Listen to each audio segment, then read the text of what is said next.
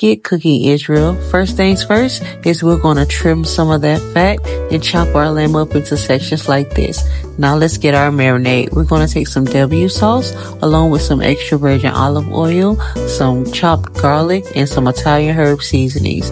Next, take a lemon, roll that lemon to extract all those juices from that lemon add it straight to the bowl, give it a nice good mix, and then we're going to add our lamb into that bowl and toss our lamb so that it's evenly coated and it should look like this. Once properly coated, we're going to cover and let that marinate in the fridge for about an hour. Now, while that marinates, we're going to work on our chimichurri sauce. I know my gloves are bright, but Israel, let's focus on the sauce. We're going to chop up our parsley fine and then we're going to add that into the bowl. Once that's added into the bowl, we're going to take some garlic cloves and chop that up finely and also add that into the bowl.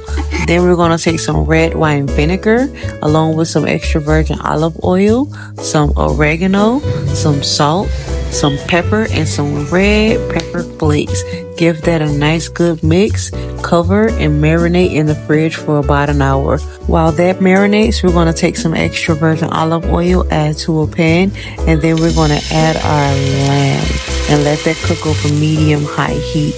You want to let that sear on both sides. Once you do the flip, add in some butter along with some garlic and some rosemary. And then you want to just baste your lamb with that garlic rosemary butter.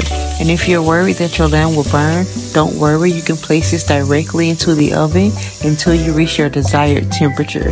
And here you have it, Israel, my garlic and herb lamb. Served alongside some homemade mashed potatoes, cornbread, and roasted asparagus.